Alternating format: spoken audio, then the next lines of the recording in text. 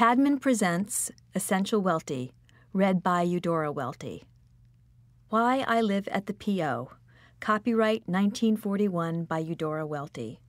Powerhouse. Copyright 1941, renewed 1969 by Eudora Welty. Petrified Man. Copyright 1939, renewed 1967 by Eudora Welty.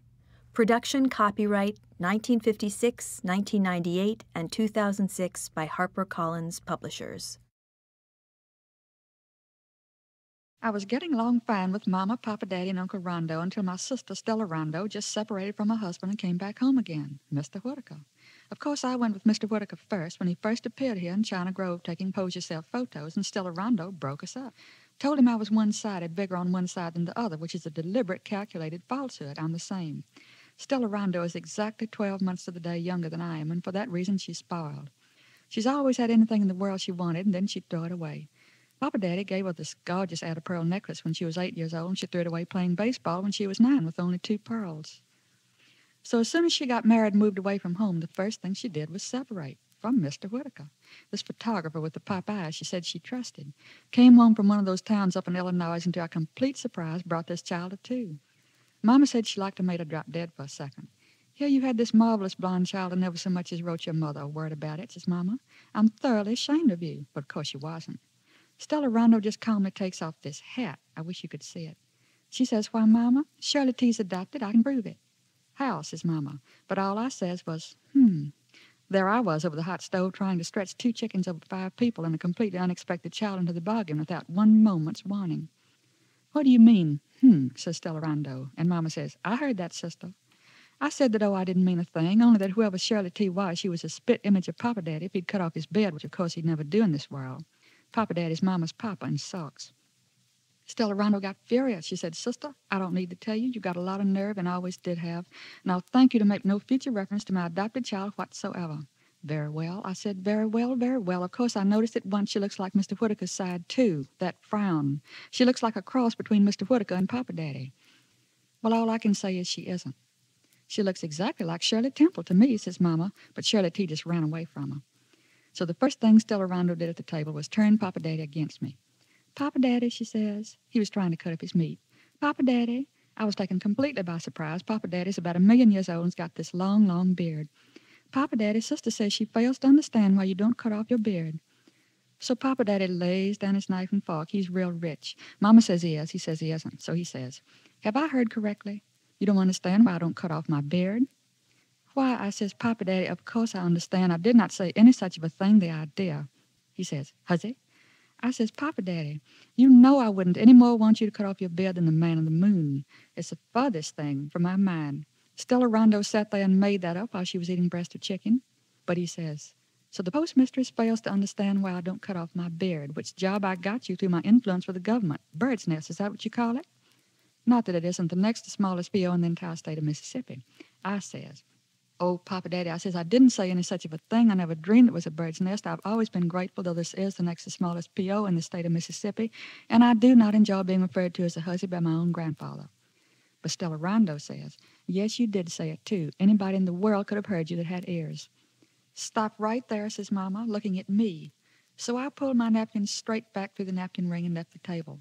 As soon as I was out of the room, Mama says, Call her back or she'll starve to death. But Papa Daddy says, This is a beard I started growing on the coast when I was 15 years old. He would have gone on till nightfall if Shirley T hadn't lost the Milky Way she ate in Cairo. So Papa Daddy says, I'm going out and in the hammock, and you can all sit here and remember my words. I'll never cut off my beard as long as I live, even one inch, and I don't appreciate it in you at all. Passed right by me in the hall and went straight out and got in the hammock. It would be a holiday. It wasn't five minutes before Uncle Rondo suddenly appeared in the hall in one of Stella Rondo's flesh-colored kimonos all cut on the bias, like something Mr. Whitaker probably thought was gorgeous. Uncle Rondo, I says, I didn't know who that was. Where are you going? Sister, he says, get out of my way, I'm poisoned. If you're poisoned, stay away from Papa Daddy, I says. Keep out of the hammock. Papa Daddy will certainly beat you on the head if you come within 40 miles of him. He thinks I deliberately said he ought to cut off his beard after he got me the P.O., and I've told him and told him and told him, and he acts like he just don't hear me. Papa Daddy must have gone stone deaf. He picked a fine day to do it then, says Uncle Rondo, and before you could say Jack Robinson flew out in the yard. What he'd really done, he'd drunk another bottle of that prescription. He does it every single Fourth of July, sure as shooting, and it's a horribly expensive. Then he falls over in the hammock and snores. So he insisted on zigzagging right out on into the hammock looking like a half-wit. Papa Daddy woke up with this horrible yell, and right there, without moving an inch, he tried to turn Uncle Rondo against me. I heard every word he said. Oh, he told Uncle Rondo I didn't learn to read till I was eight years old, and he didn't see how in the world I ever got the mail put up in the P.O., much less read it all. And he said if Uncle Rondo could only fathom the lengths he had gone to to get me that job. And he said, on the other hand, he thought Stella Rondo had a brilliant mind and deserved credit for getting out of town. All the time he was just lying there swinging as pretty as you please and looping at his bed, and poor Uncle Rondo was pleading with him to slow down the hammock. It was making him as dizzy as a witch to watch it. But that's what Papa Daddy likes about a hammock. So Uncle Rondo was too dizzy to get turned against me for the time being. He's Mama's only brother and is a good case of one-track mind. Ask anybody, a certified pharmacist. Just then I heard Stella Rondo raising the upstairs window. While she was married, she got this peculiar idea that it's cooler with the window shut and locked. So she has to raise the window before she can make a soul hero outdoors. So she raises the window and says, Oh, you would have thought she was mortally wounded. Uncle Rondo and Papa Daddy didn't even look up, but kept right on with what they were doing. I had to laugh. I flew up the stairs and threw the door open. I says, What in the wide world's the matter, Stella Rondo? You mortally wounded? No, she says, I am not mortally wounded, but I wish you would do me the favor of looking out that window there and telling me what you see. So I shade my eyes and look out the window. I see the front yard, I says. Don't you see any human beings? She says. I see Uncle Rondo trying to run Papa Daddy out of the hammock, I says. Nothing more. Naturally, it's so suffocating hot in the house with all the windows shut and locked. Everybody who cares to stay in their right mind will have to go out and get in the hammock before the 4th of July is over. Don't you notice anything different about Uncle Rondo, says Stella Rondo. Why, no, except he's got on some terrible-looking flesh-colored contraption I wouldn't be found dead in, is all I can see, I says. Never mind, you won't be found dead in it because it happens to be part of my trousseau, and Mr. Whitaker took several dozen photographs of me in it, says Stella Rondo. What on earth could Uncle Rondo mean by wearing part of my trousseau out in the broad open daylight without saying so much as kiss my foot, knowing I only got home this morning after my separation and hung my negligee up on the bathroom door just as nervous as I could be? I'm sure I don't know, and what do you expect me to do about it? I says. Jump out the window? No, I expect nothing of the kind. I simply declare that Uncle Rondo looks like a fool in it, that's all, she says. It makes me sick to my stomach. Well, he looks as good as he can, I says, as good as anybody in reason could. I stood up Uncle Rondo, please remember.